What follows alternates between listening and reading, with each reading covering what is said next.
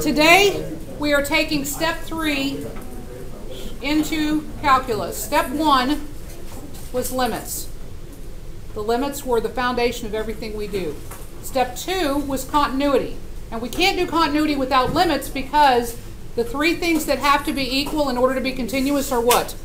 Right hand limit, left hand limit, And f of c. and f of c, the y value. Okay? So without without limits, you can't do continuity. And without continuity, you can't do step three, which is the derivative. Okay? We are starting to lay the foundation for derivatives today. Okay? So before we do, however, we're going to have to go back to algebra 1 and algebra 2 for a little bit. Is that okay with you guys? I think you would be all right with doing that. So let me sit down. Can we take these in our spiral? You can. This first part, yes, you can take this in your spiral. So the first part I'm going to put on the back of the difference quotients worksheet. Okay? I want to review a couple things with you. First one.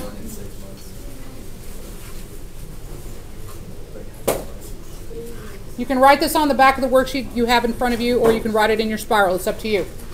Okay. First of all, what is the formula for finding the slope of a line? No, that's not the formula. Okay, rise over run is one of them, yes. Okay. Another one that I heard somebody say was y what? Uh, over x2 minus x1. And there's a third one that's kind of obscure but needs to be known. y over change in x. Do y'all remember that one? Delta y over delta x. Okay, that's going to come into play a little bit later. What exactly are this x1 and y1 and x2 and y2? What are they? They're points, aren't they? So we have a point here, say x1 and y1. And we have a point here, x2 and y2.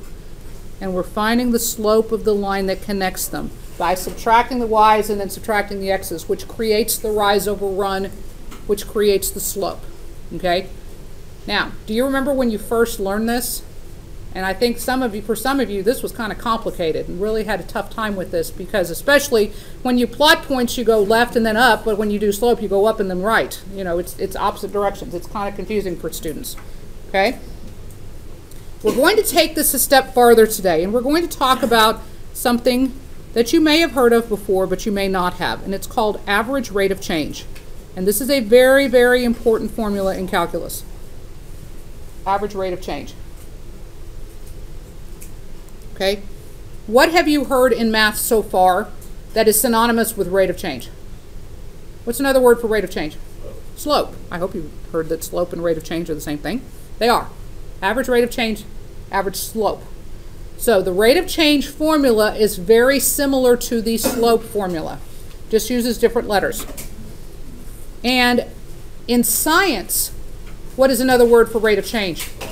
Velocity. So this formula is for average rate of change or average velocity as well. So I'm going to do this more of a graph like this. So if this is time and this is distance,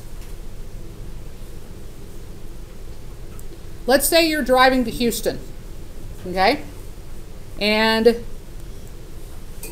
you go a distance of 120 miles in two hours.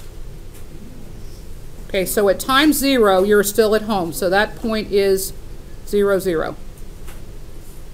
And two hours later, which we're going to say is two hours here, you have gone a distance of 120 miles. So this is the point 2 comma 120. Okay? The slope of that line would tell you how fast you were going on average, right? Okay? How fast would you be going on average? 60 miles an hour. 120 minus 0, 120 over 2 minus 0, which is 2, 60 miles an hour. Now, were you going 60 miles an hour that entire trip? Probably not, especially if you stopped at Buc-ee's along the way, right? Yeah, love Buc-ee's. We had a great conversation about Buc-ee's last period. Okay, so that was your average velocity. But could I be sure that if I if you told me I left at noon last Saturday and two hours later I'd gone 120 miles down the road, could I be sure that exactly at 1 o'clock you were going 60 miles an hour? No. But I could know that on average you were driving about 60 miles an hour. Okay? So the formula that we're talking about is talking about averages. And I'm going to draw one more picture over here. Here is A, here is B, because you don't always start at 0, 0. Here is A, let's put B right there. The line that goes through here, we're going to call y equals f of x. Now this is a little bit more challenging. I need to know the coordinates of those of that point right there. Okay, what is its x coordinate? It's a. I would agree with that. What is its y coordinate in terms of f of x? It is f of a. Think about it. Because isn't that how you find the y coordinate? Don't you plug it into f? Yes. Okay? Now, so then can you now tell me the coordinates of that point? B, comma, f of b. Okay, because I'm kind of getting a little crowded, I'm going to change colors. So, now using the same format as this up here, I want you to write the slope equation using these four variables instead of y2, y1, x2, and x1. What would that be? What would I write first? f of b minus f of a. Does that make sense to everybody? y2 minus y1 over b minus a. There it is. Put a big star by that. That is a very, very important formula that you need to memorize for average rate of change and average velocity. It's the same formula. Okay? f of b minus f of a over b minus a. Okay. Now, this is the graph I drew to find the average velocity. Now let me come back here and let's draw a realistic graph here. So at time zero, you were at zero. Here's the time. Here's the distance. And up here at time two, you were at 120. In reality, would the graph of your trip to Houston, I know this isn't the whole way because Houston's farther than two hours, would your graph of your trip to Houston be a straight line? No. No. It could have dips in it. It could it could be it could go along for a while and then it could flatten out. What happens when you flatten out? You're having lunch. You stopped at Buc-ee's. Decided to stop at Buc-ee's and get some beaver nuggets or whatever. And then you decided to go a little bit faster and you took another pit stop and then you went the rest of the way. So that's the reality. Now, is it really straight lines? Well, when you accelerate, it's going to curve a little bit, okay? So, honestly, I could make this thing curve a little bit, and I'm going to for a reason here. Let's make it curve a little, okay? All right? There's a nice little curvy graph, okay?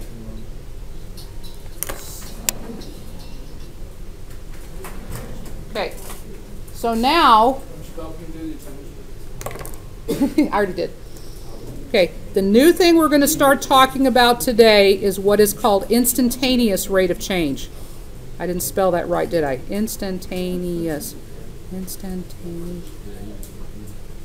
That doesn't look right. Let me do it again. Instantaneous. Yeah. Right. You can pretty much deduce what it means. Okay, instantaneous rate of change. That means how fast am I going right there? Whoa. Okay, we don't know what a derivative is yet in this class. Can't go there. Okay? Now, rate of change means slope. So the question is, I want to know the slope right there. But that's a problem. What's the problem with finding the slope right there? There's a lot of curves. There's a lot of curving going on. And how many points do you need to find a slope? You need two. You need four coordinates, but two points. Okay? So, if I wanted to find the slope right there, I'm kind of at a little bit of a problem because I only have one point and I need two points. Now, let me say this right here as well. The slope of a curve is equal to, just write this down and then I'll explain it. The slope of a line tangent to the curve at a given point.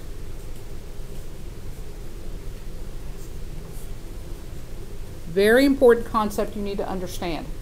So if I'm saying I want to know the slope right there, I'm actually saying I want to know the slope of a line that's tangent to that curve right there. Now, we understand slopes of lines. We've been studying that since Algebra 1, okay? I bet you could estimate the slope of that line. I know you can at least tell me what sign it is. What is the slope of that line's sign going to be? It's definitely positive. I would agree with that. Okay? Now, this is really not a good curve to show it. Let me, let me draw in another one. I thought this would be a good one, but this will work this way. Here's a curve. Okay? Let me pick this point right here. That definitely has a positive slope. Do you see a point on this curve that I just drew that would have a negative slope? Yes. Would it be over here? Yeah. Here? Over here? Right there. Right there. Right there. So you're visualizing what the slope would be sign-wise at this point, which is good. You need to be able to do that. But with what we know mathematically, we cannot find the slope right there with only one point, okay? So what we're going to learn how to do today is do what's called a difference quotient.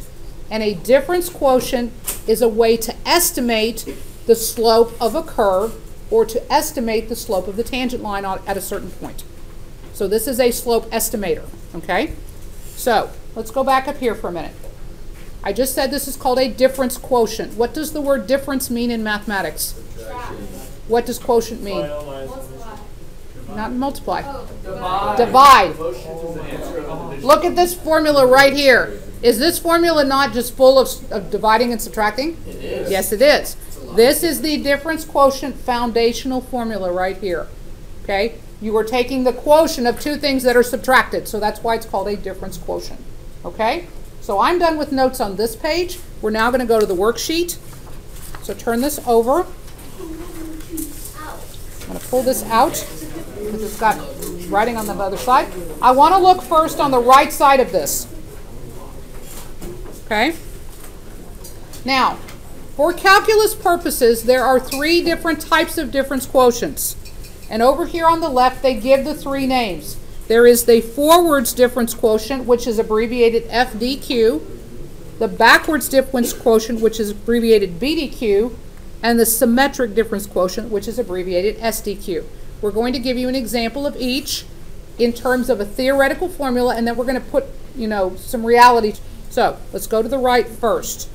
We have the parabola x squared, something very easy to work with. Well, how would we estimate the instantaneous rate of change or the slope of the curve at 3? So here's what I want you to do. Take your pencil and draw a dot at the point 3 comma 9 on the curve. It says it wants to find the slope right there. Now, can you tell me what sign it is right there? It is a positive slope. I agree. Now, I want you to put a little arrow and call that x. We are going to do, first of all, an FDQ, a forwards difference quotient. So I want to go forwards a little bit from that point. So if I'm going forwards in x value, would I be going up the curve or down the curve? I would be going up the curve. So go up the curve and just put a little x right there. Okay? The coordinate of that little x is going to be x plus a change in x. x plus delta x. Okay? Every time we are going to write a forwards difference or, or forwards, backwards, or symmetric difference quotient, the first thing we always do is write the interval on which we're doing this, basically defining A and B. Now, we're going to write this like a domain. When you write a domain down, do you put the smaller number first or the bigger number first? Smaller one. Of these two, which one is smaller? X, x is. Very good. And then x plus delta x is bigger. So write it in brackets like so. This is your A, this is your B. So, we're going to write this problem in terms of the formula we talked about on the back. f of b minus f of a over b minus a. So it's going to be f of b, which is x plus delta x, minus f of a, a is x, over b, which is x plus delta x, minus a, which is x.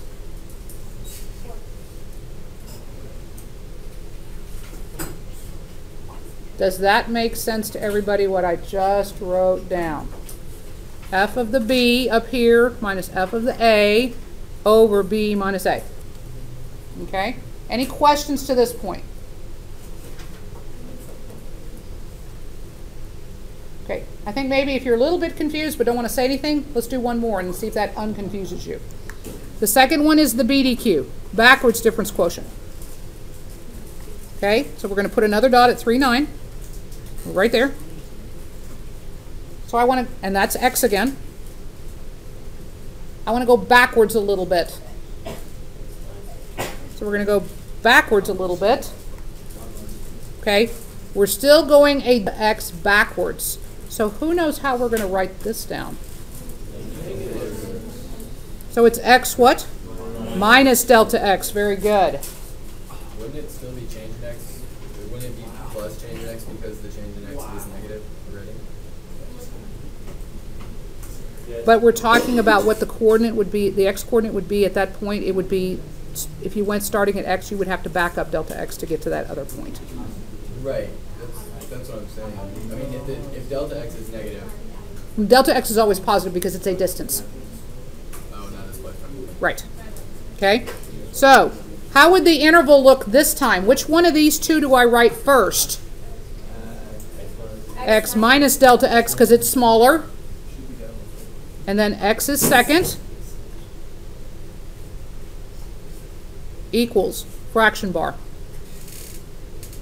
f of, which one first? x. Always oh, the second one first. Minus f of X minus x minus delta x over the b, which is x, minus the a, which is x minus delta x. Notice that I'm putting everything in parentheses. Please do the same. Because you've got to watch those signs. They can really slip you up. Okay? Now, after doing two of these, do you feel a little bit better about how this is fitting together? Yes. Yes? Okay. Last is the symmetric difference quotient, SDQ. I want you to put a dot at 3, but make it tiny because we aren't even using it in our quotient. Just a little dot right there. We're going to go a little bit up and a little bit down. Now, the whole width is not delta x. You're still going delta x up and delta x down. Okay? So, it's, it's forwards, backwards, and what chooses? symmetric. Oh. Okay? So the upper x would be x what? Plus delta x. The lower x would be x minus delta x. Are you with me? Write the interval. Which one do I write first? X minus. x minus delta x is first, x plus delta x is second, equals, you write it down. See if you can write it down. Oh, you got it. And then check with your table to see if you get the same answer.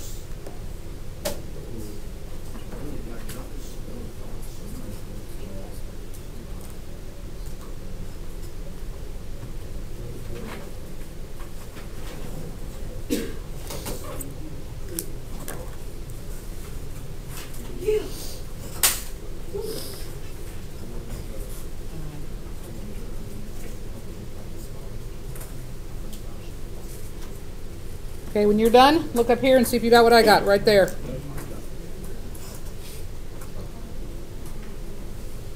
Okay. Now, you may just be going through the motions and doing this, but do you understand what's going on? Matt, do you have a question? They said second one first. Yes. The second, the second one, uh, i.e. the larger one first, when you do it here. x plus delta x is larger than x minus delta x. Okay? All right. Questions? If I watch the video, will it make more sense? I don't have, this is, if you watch it again, it'll probably make more sense, yes, after we do this. Okay. Is everybody done writing this down? Can I move on to the other side?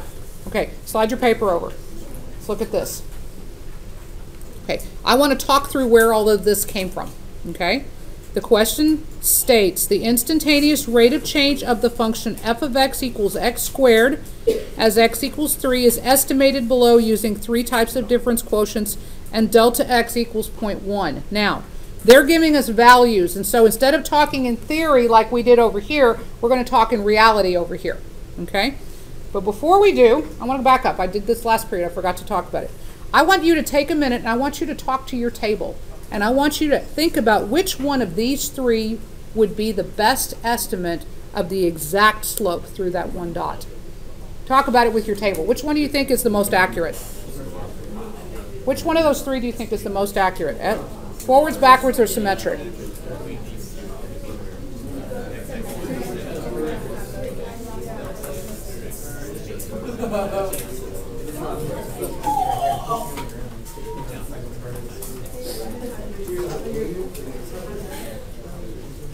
Okay. Would anybody like to volunteer what their table came up with and why? Lex, go. All right, uh, we chose the symmetric difference quotient. Okay. Because basically it gives us an average between x plus delta x and x minus delta x. Okay. Which would give us like a more exact point. Okay. I think that's a valid argument. Good, Okay. Now, does anybody have anything to add to that?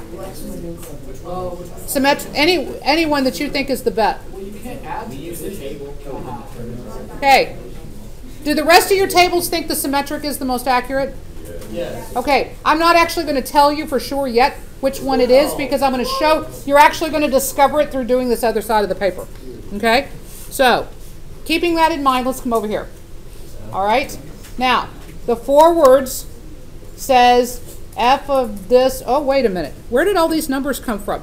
Let's back up for a second. I'm actually going to cover this up with my fingers and I want to write the interval. I wish they did that, but they didn't do that before. Three. Okay, if we're going forwards and we're, we're doing it around three, would three be written first? Let me say it again. If we're going forwards and the point in question is three, do you write the three first?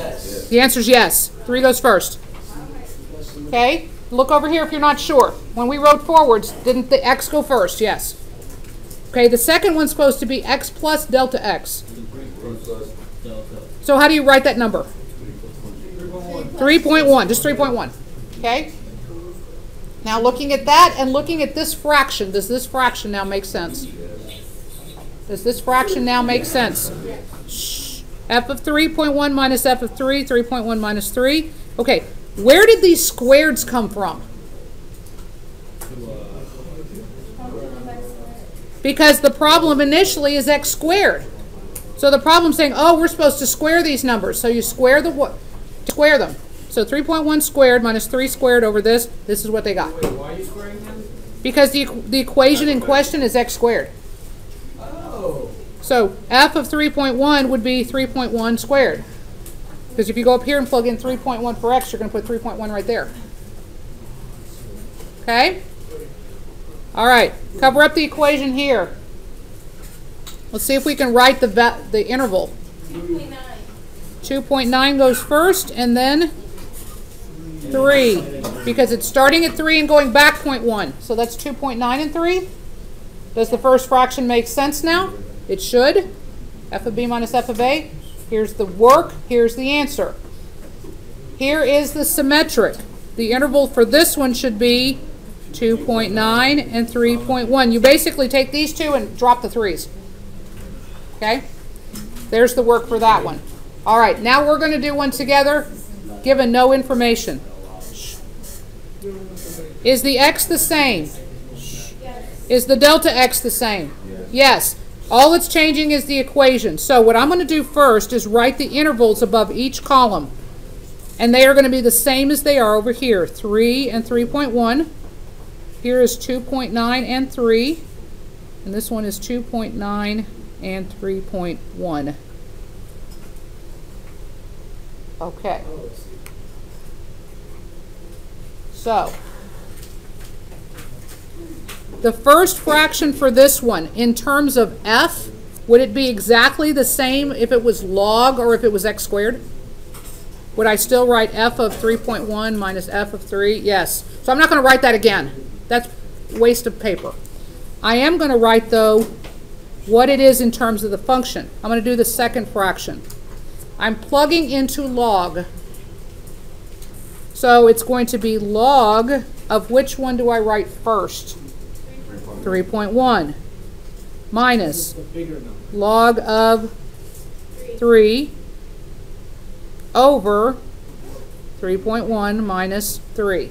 Okay? So now take your calculator. Okay. If you have an 83 calculator, you're going to need to put the top and the bottom in a parentheses. If you have an 84, you can use the fraction bar, alpha y equals, and enter, and just type it in. But make sure you close the parentheses after the 3.1.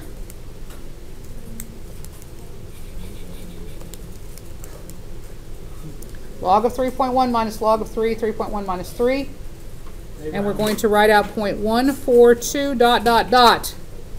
Calculus is three or more decimal places, rounded or truncated. If you've been in pre-AP all along, I think they've been teaching you ever since geometry, three decimal places, three decimal places. This is why, because that's what calculus is, three decimal places minimum. You can go more than three, but three is the minimum. Okay? Are we good with that? Now, compared to the exact answer that they give you, small, too small. Okay, do the second one. How would this be? Log of which one? 3 of 2.9 over 3 minus 2.9.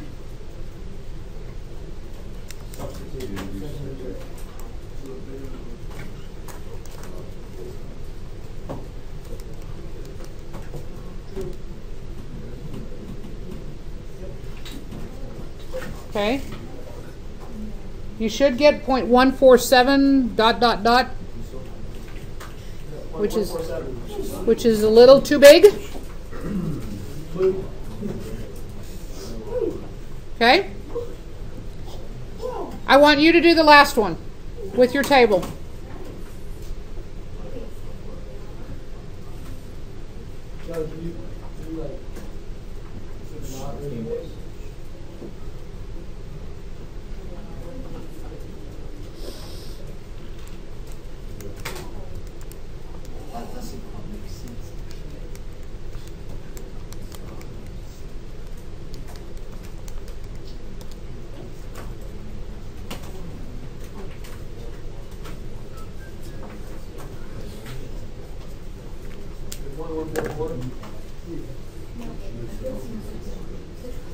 Now I went out four decimal places on the last one just to show exactly how close it was to the exact answer. So is our theory correct? Is symmetric the best? Yes, it is. Okay? Now, we are not going to do ln because it's just like the log. I would like you to do with your table right now the e to the x. Set up the fractions, do the math, make sure you're typing it in correctly. It's still the same intervals as it is up here. Does it get much harder than this? No, this is it. This is it. This is it. Climbs very fast. Okay, we'll give you about one more minute and then I'm going to talk about a couple of these. And I want to record it so that those who didn't see this first period have an access to it or who are absent today. My debaters. Okay, anybody need more time? Okay, go ahead and take this worksheet you just got right here. Okay, right here. We're actually going to do numbers one and two together because we talked about one in class. I want to make sure you know the answer to this question because this is basically what I want you to leave class with today. Who can tell me, and I've already alluded to it, why, what's the difference quotient for? For finding a slope of a curve. Okay, I'm hearing a lots of little pieces. I'd like you to raise your hand, please, and tell me what you oh, want to Oh, say. now you. Okay, Gavin, I'm gonna start with you, and then I'm gonna come over there. Go for it. Finding the slope at Finding the slope at a point. That's good. Let's add to that. Let's make it a little What's bit, the, finding the slope of a curve? okay? That's what I you said. asking Okay. You're, okay, I still want to add one more little thing to that.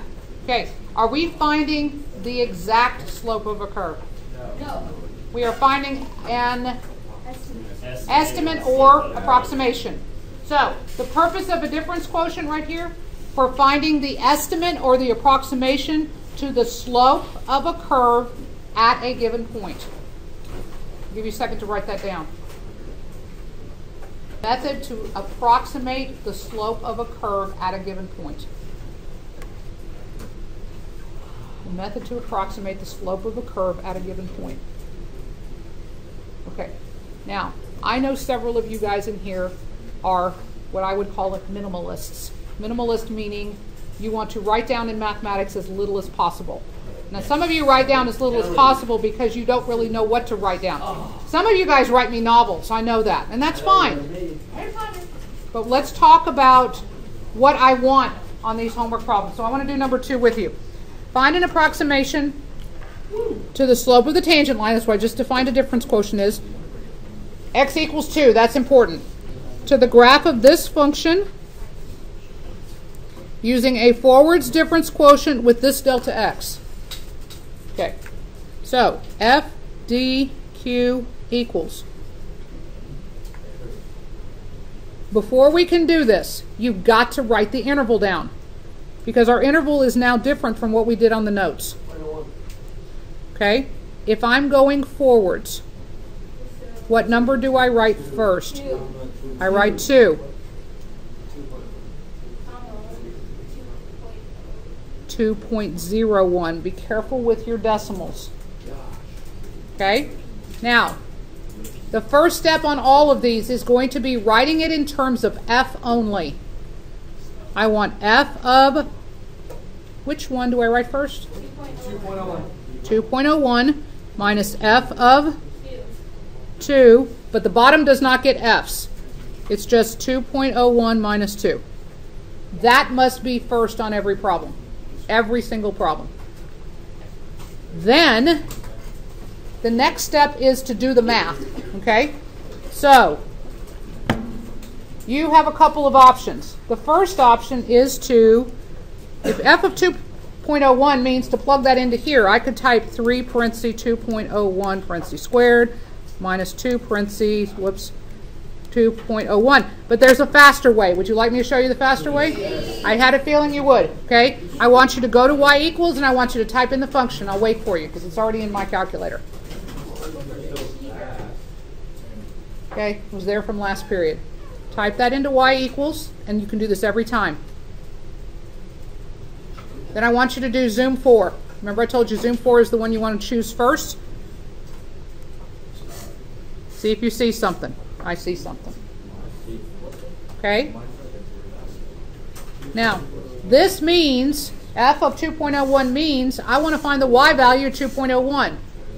So, to find a y value, the quickest way is to push the trace key and type in what you want, 2.01. And it'll show it at the bottom of the screen right there. Okay. Never, never, never, never, never round before the end of the problem. So I want all of those decimals. I don't care how many there are. 8.1003. Okay? Every time. Every time. Minus. Now, f of 2, that just means I want the y value at 2. So I'm going to push trace again. Oh, it just popped up there. Well, that- was kind of interesting. 2 comma 8. So 8 goes next. Over. 2.01 minus 2. Okay, so step 1, write it with f's. Step 2, give me the numbers. Step 3, just give me the answer.